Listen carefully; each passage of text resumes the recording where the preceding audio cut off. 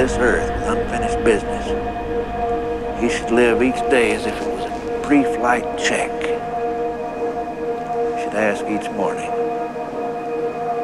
am I prepared for liftoff?